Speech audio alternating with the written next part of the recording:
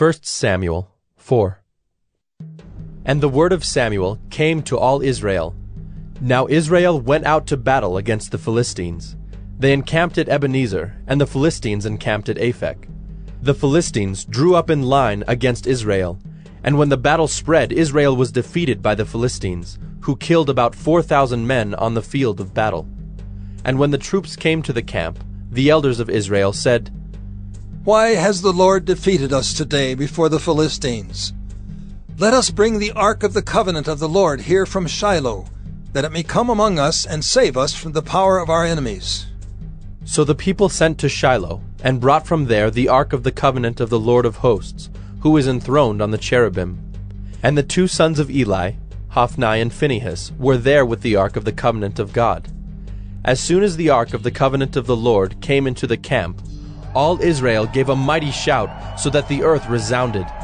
And when the Philistines heard the noise of the shouting, they said, What does this great shouting in the camp of the Hebrews mean? And when they learned that the ark of the Lord had come to the camp, the Philistines were afraid, for they said, A god has come into the camp! And they said, Woe to us, for nothing like this has happened before. Woe to us! Who can deliver us from the power of these mighty gods? These are the gods who struck the Egyptians with every sort of plague in the wilderness. Take courage and be men, O Philistines, lest you become slaves to the Hebrews, as they have been to you.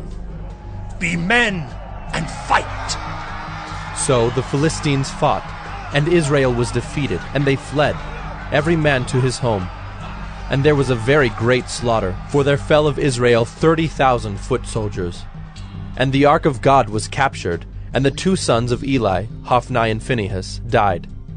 A man of Benjamin ran from the battle line and came to Shiloh the same day, with his clothes torn and with dirt on his head. When he arrived, Eli was sitting on his seat by the road watching, for his heart trembled for the ark of God. And when the man came into the city and told the news, all the city cried out. When Eli heard the sound of the outcry, he said, What is this uproar? Then the man hurried and came and told Eli. Now Eli was ninety eight years old, and his eyes were set so that he could not see. And the man said to Eli, I am he who has come from the battle. I fled from the battle today. And he said, How did it go, my son? He who brought the news answered and said, Israel has fled before the Philistines, and there has also been a great defeat among the people. Your two sons also, Hophni and Phinehas, are dead, and the ark of God has been captured. As soon as he mentioned the ark of God, Eli fell over backward from his seat by the side of the gate, and his neck was broken, and he died, for the man was old and heavy. He had judged Israel forty years. Now his daughter in law, the wife of Phinehas, was pregnant, about to give birth.